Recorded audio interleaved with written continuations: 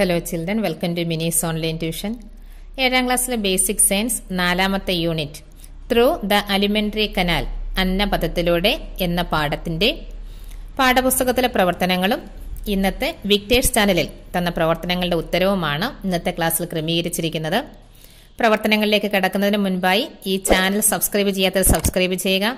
തൊട്ടടുത്ത ബെല്ലേക്കൻ കൂടി ക്ലിക്ക് ചെയ്യുകയാണെങ്കിൽ തുടർന്ന് വിടുന്ന വീഡിയോയുടെ നോട്ടിഫിക്കേഷൻ നിങ്ങൾക്ക് ലഭിക്കുന്നതായിരിക്കും.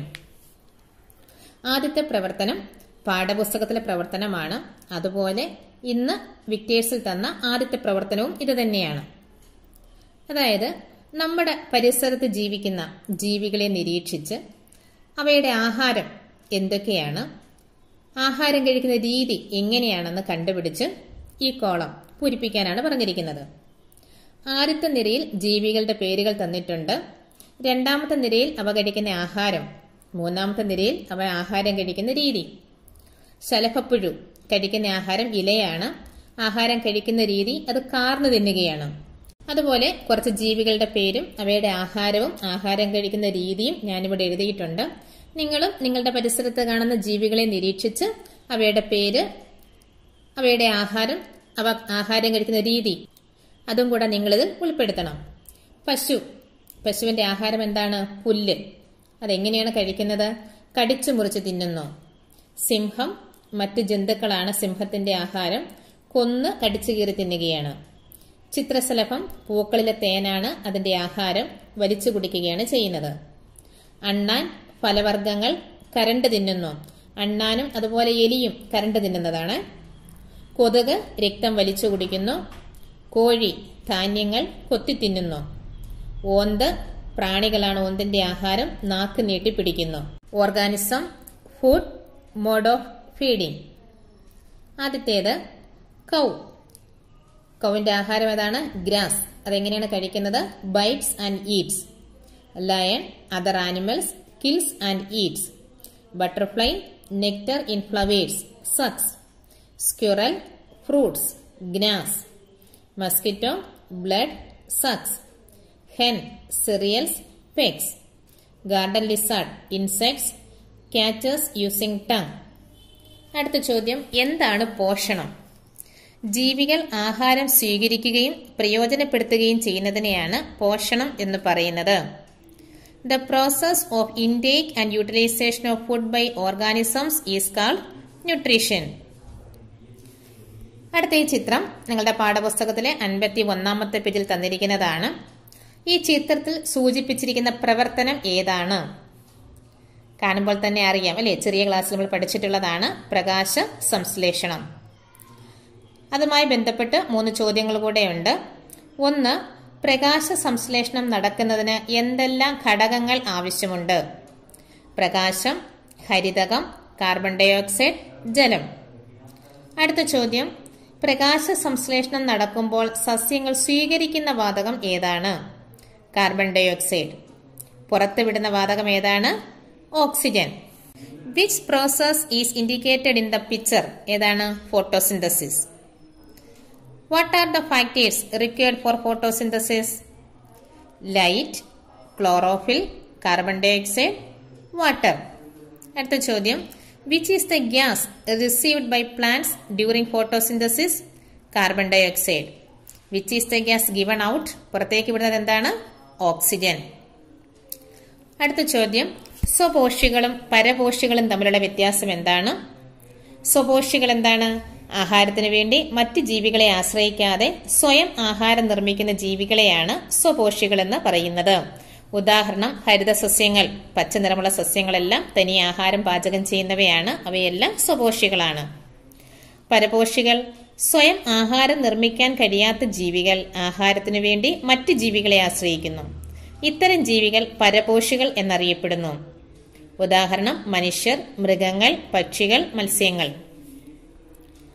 സ്വപോഷികൾ autotrophs. Green plants do not depend on other organisms for food. They synthesise their own food. They are called autotrophs. Example green plants. heterotrophs there are organisms which are unable to synthesize their own food and depend on other organisms for food they are called heterotrophs example human beings, animals, birds, fish. അടുത്തത് പൂർണ പരാതങ്ങൾ total parasites എന്താണ് ആഹാരത്തിനായി പൂർണമായും ആതിഥേയ ജീവികളെ ചൂഷണം ചെയ്യുന്ന ജീവികളാണ് പൂർണ പരാതങ്ങൾ ഉദാഹരണം മൂടില്ലാത്താളി total parasites completely depend on the host for food example cuscuta അർത്ഥപരാദങ്ങൾ partial parasites ആഹാരത്തിന് വേണ്ടി ആതിഥേയ ജീവിയെ ഭാഗികമായി ചൂഷണം ചെയ്യുന്ന ജീവികളാണ് അർത്ഥപരാദങ്ങൾ ഉദാഹരണം ഇത്തിൽ ചന്ദനം. Partial parasites depend on the host only partially for food example loranthus sandalwood tree ഇത്തിളും ചന്ദനമരവും. ഇനി ശവോപജീവികൾ എന്താണ് ജീർണിച്ച ജൈവാവശിഷ്ടങ്ങളിൽ നിന്നും ആഹാരം കണ്ടെത്തുന്ന ജീവികളാണ് ശവോപജീവികൾ. ഉദാഹരണം കോൺ monotropa. Saprophytes absorb food from decaying organic substances. Example mushroom monotropa ഇനി ബാഹ്യപരാതങ്ങൾ ആന്തരപരാതങ്ങൾ എന്നീ രണ്ട് രീതിയിൽ പരാതങ്ങളെ തരംതിരിക്കാം.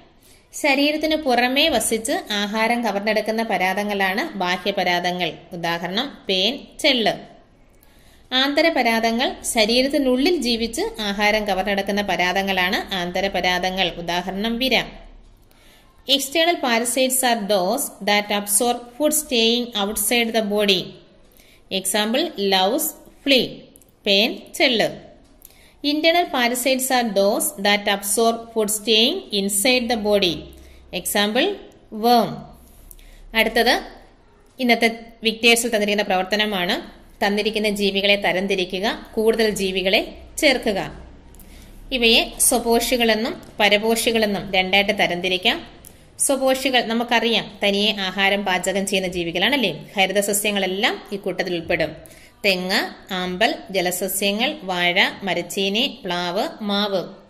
കൂടുതൽ സ്വപോഷികൾക്ക് ഉദാഹരണം നിങ്ങൾക്ക് എഴുതി ചേർക്കാം.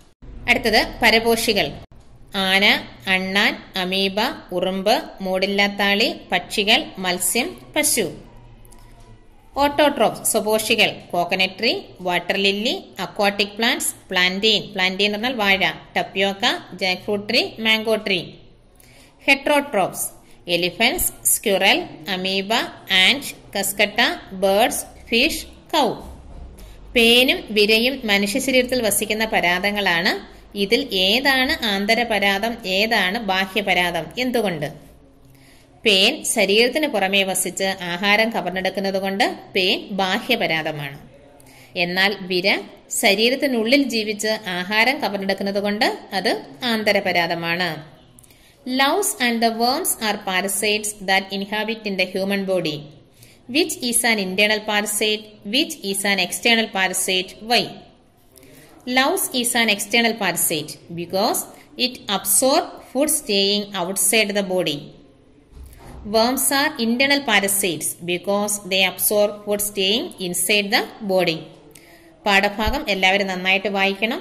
തുടർ പ്രവർത്തനങ്ങളുമായി അടുത്ത ക്ലാസ്സിൽ വീണ്ടും കാണാം. Okay thank